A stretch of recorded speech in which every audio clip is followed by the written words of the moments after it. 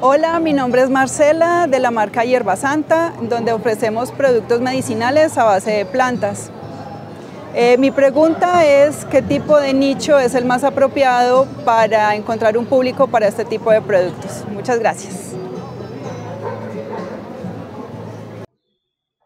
Marcela, muchas gracias por compartir con nosotros ese reto que tienes con tu emprendimiento y agradezco también a todas las marcas que hacen posible la realización de este programa de soluciones en tu mundo. Ellos son Frisbee, la Fundación Frisbee, SEIPA Powered by Arizona State University, la Gobernación de Antioquia, Siste Crédito con Fama y la Cámara de Medellín para Antioquia. Juntos hacemos empresa.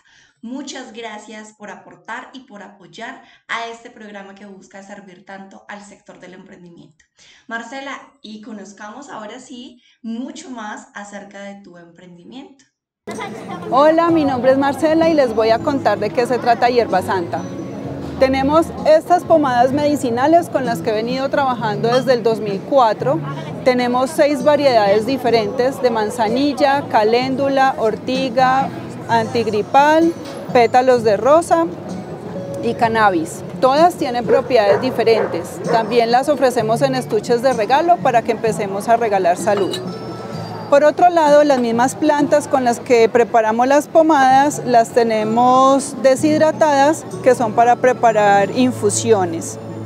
O tenemos los cristales para baño, que son limpiadores energéticos y como están preparados con plantas, también tienen beneficios a nivel de salud.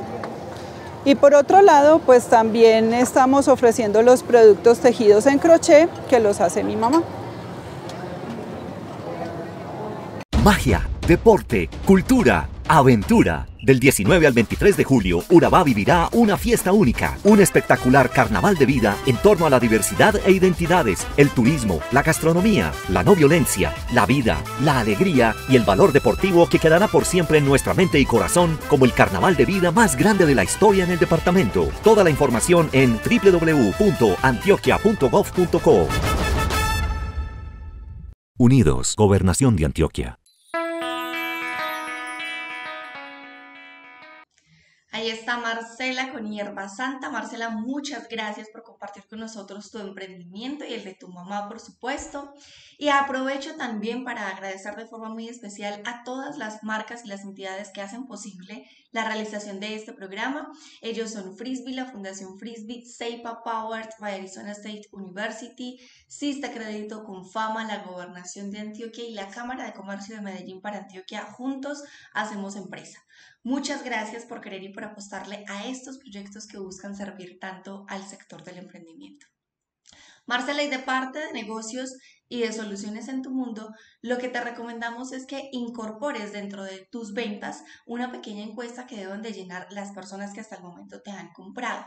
Esa pequeña encuesta te va a permitir evidenciar cuáles son las características de ese público que hasta el momento ha sido tu cliente. Eso te va a dar pautas, te va a dar eh, las indicaciones que necesitas para ir conociendo mucho más cuál es realmente ese nicho de mercado al que tú le apuntas y al que debes de apuntar. Claramente, pues va a ser un nicho distinto al del emprendimiento de tu mamá, em, pero lo pueden incorporar ambas eh, para identificar realmente cuál es el nicho de mercado al que deben de apuntar y por supuesto pues empezar a crear incluso productos o, o, adecuar los productos que en este momento tienen para que se acomoden más a las características de ese nicho de mercado. Pero por supuesto ya viene nuestra persona experta, él es Jack, él es una persona que conoce mucho sobre estos, estos temas, tiene mucha experiencia en todo lo que tiene que ver con mercadeo, con marketing digital y sobre todo con estos temas de segmentación em, y reconocimiento de público de acuerdo a las características del producto del emprendimiento.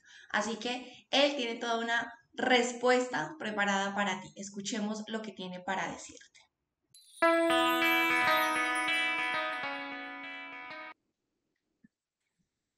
Hola Marcela.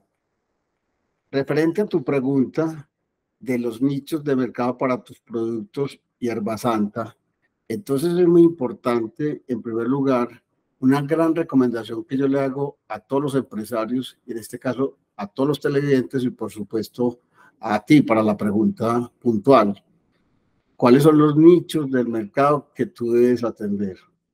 Antes de hablar de nichos de mercado, tenemos que hablar, entender que una cosa es segmentar los mercados y otra cosa es los nichos de mercado. Yo no me cansaré de decirle a los empresarios como fórmula mágica que si quieren ser exitosos en mercadeo, tienen que segmentar, segmentar y segmentar. Pero una cosa es llegarle al consumidor final y otra cosa es llegarle al mercado empresarial. El consumidor final lo llamamos business to consumer y el mercado empresarial business to business. En este caso, tú, le estás, tú estás atendiendo el consumidor final. Tradicionalmente, cuando uno pregunta quién es tu mercado, la respuesta más común es hombres y mujeres de estratos 4, 5 y 6 de la edad de los 15 a los 40 años. Y ahí es que segmentó y solo dijo tres variables de segmentación. Habló de la edad, habló del género y habló del estrato social. Realmente para uno tener una buena segmentación es necesario considerar 23 variables de segmentación clasificadas en cuatro grandes grupos. Un primer grupo son las variables geográficas que hablan de región, del tamaño de la ciudad en el número de habitantes y del clima. Esas de las geográficas. En las demográficas debemos hablar de, de la edad, del sexo, del estado civil, del tamaño de la familia, del ciclo de vida de la familia, de los ingresos, de la ocupación, de la educación, la religión, la raza y la nacionalidad. Son 11 demográficas. En las psicográficas es necesario considerar tres, que son las más importantes, clase, estilo de vida y personalidad, y las conductuales, que compra, cuándo compra, cómo compra, dónde compra, cada cuánto compra y cuánto paga por cada uno de los productos, el ticket promedio que puede ser mensual. Estos dos últimos grupos de variables, las psicográficas, que hacen referencia a la clase social, al estilo de vida y la personalidad, son las más importantes y allí nos estamos acercando un poco más a tu pregunta de los nichos de mercado. En este caso, nosotros, eh, digamos, para darle una respuesta más puntual a tu pregunta, miramos, en el caso de las pomadas o de los cristales, o de las infusiones, uno podría pensar, clima, frío, cálido, templado. Bueno, no creo que afecte mucho. La región, en qué, cuáles ciudades estás atendiendo en este momento. Supongamos que solo estás Bogotá y Medellín. Entonces, ¿cuántos habitantes tiene Bogotá? La cifra que yo tengo son 7.200.000 aproximadamente y Medellín 2.570.000.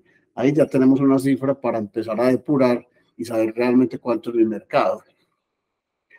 Eso en cuanto a las geográficas. Entonces ahí las geográficas importan mucho el número de habitantes en la ciudad donde estés atendiendo tu mercado.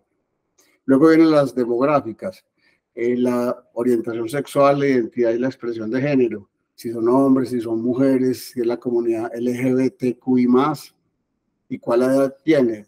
Eh, yo creería que para tus productos una edad podría ser de los 18 a los 60 años de edad. No quiere decir que si una persona menor de 18 años o mayor de 60 no lo consuma, pero cuál es tu mercado potencial más importante.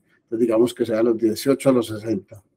El nivel de educación, posiblemente no importa si tiene estudios de primaria y secundaria, pero creería que está más orientado a las personas que tengan estudios técnicos, tecnólogos, universitarios y con posgrado. El estado civil no importa si es casado, soltero, viudo, separado o está en unión libre. El nivel de ingresos sí importa, si tiene un y medio salario mínimo legal vigentes o salario mínimo legal vigentes como ingresos. La religión, a menos que exista una religión que prohíba el uso de tus productos, creería que tampoco importa si es católico, si es cristiano, si es testigo de Jehová. Las razas podrían ser todas, la nacionalidad todas, la ocupación podría ser importante en cuanto a, por ejemplo, si estamos hablando de manzanilla la manzanilla es para el estrés, entonces para personas que tienen alto estrés porque estudian o porque trabajan, y pueden ser trabajadores de alto nivel o de gerencia media o de gerencia operativa. Hasta ahí las demográficas, pero yo insisto en que las más importantes actualmente son las psicográficas. ¿Cuál es el estrato social? ¿Será que le estás orientando al estrato 4, 5 y 6 o al 2, 3, 4? ¿Y cuál es el estilo de vida? Ese sí que es importante. Personas que tienen que ver con mayor conciencia de su salud, personas que quieren estar bien, que quieren sentirse bien, que son exigentes, que son trabajadores, dinámicos, exigentes, que les gusta estar pendientes de su salud en todo momento. Y la personalidad tiene que ver con la admiración propia, con la autoestima, son personas que son extrovertidas, seguras de sí mismas, que son independientes, que planean, que son prácticos a la hora de comprar. ¿Y que compran? Compran las pomadas medicinales, las infusiones, los cristales para el baño. ¿En dónde? Ah, en los puntos de venta de hierba santa, en el portal web, en las redes sociales, en las tiendas especializadas y en las tiendas naturistas. ¿Y por qué compra? Compra por bienestar. ¿Y cada cuánto? Cada ocho días, cada quince días, mensualmente. ¿Y cuánto? ¿Cuánto es el, el ticket promedio? Supongamos que el ticket promedio sea de 30, 40, 50 mil pesos que está comprando cada que compra. Hasta ahí son como las variables de segmentación, pero la pregunta particular es los nichos de mercado. Los nichos de mercado tienen que ver ya no tanto con las características que hacen que ese segmento, eh, yo lo agrupo por características más o menos similares, y que se relacione más en este caso con los beneficios que el producto ofrece y lo que el, consumidor está esperando de él. Supongamos que nosotros estamos hablando en este caso de la manzanilla. Entonces la manzanilla podría ser, por ejemplo, si yo tengo la manzanilla porque estoy muy estresado o poco estresado, o si yo o si la busco muy digestiva o poco digestiva. Entonces, si, los, si hacemos un cuadrante, podríamos tener un cuadrante de un nicho de mercado que busca eh, manzanilla que sea poco digestiva para personas poco estresadas o muy digestiva para personas muy estresadas. Y en ese caso estoy encontrando en ese cuadrante cuatro nichos de mercado diferentes. Uno que podría ser personas muy estresadas y, y buscar un producto poco digestivo, o muy estresadas y buscan un producto muy digestivo, o poco estresadas y un producto muy digestivo, o poco estresadas y un producto poco digestivo. O en el caso del cannabis, en el caso del cannabis, si yo tengo un dolor y quiero rápido alivio o lento alivio, o, o es un dolor muy fuerte o un dolor bajito, un dolor suave. Entonces ahí también tengo cuatro nichos de mercado. Un nicho de mercado de personas que buscan rápido alivio con dolores suaves o rápido alivio con dolores fuertes o lento alivio con dolores suaves y lento alivio con dolores fuertes. De esta manera, de acuerdo a las características mismas de los productos y a los beneficios que busquen, nosotros tendríamos que hacer un listado para poder, de acuerdo al estilo de vida de la persona, encontrar esos nichos de mercado. Ya para los productos de tu mamá, eso sería otro, otro, otro mercado completamente diferente. Y yo aconsejaría que cuando uno tiene una línea de productos, uno puede segmentar por empresa, por línea de productos o por producto en particular. Y cuando son productos de otra línea, con otra marca diferente, obviamente otros segmentos y otros niños y otros nichos de mercado. Espero haya sido útil y eh, te esperamos en las próximas ediciones. Jack, muchas gracias por esa respuesta tan completa. De verdad que eres todo un experto en marketing, así que te agradecemos muchísimo eh, con esa respuesta. Marcela, espero que te haya servido mucho a ti también, a tu mamá y por supuesto a todos los emprendedores que nos estén viendo en este momento a través de nuestras redes sociales. Les recordamos que ustedes también pueden participar de estos programas. Les extendemos la invitación a que nos envíen sus retos a través de nuestras redes sociales. Por ahí estamos muy atentos a recibir sus mensajes a consultar cuál es esa persona que puede eh, responder ante ese reto que ustedes nos planteen. Así que los esperamos en un próximo capítulo. Les recordamos que estamos todos los martes, miércoles y jueves a las 6 de la tarde por el Facebook y el canal de YouTube de negocios en tu mundo. Esto es Soluciones en tu mundo.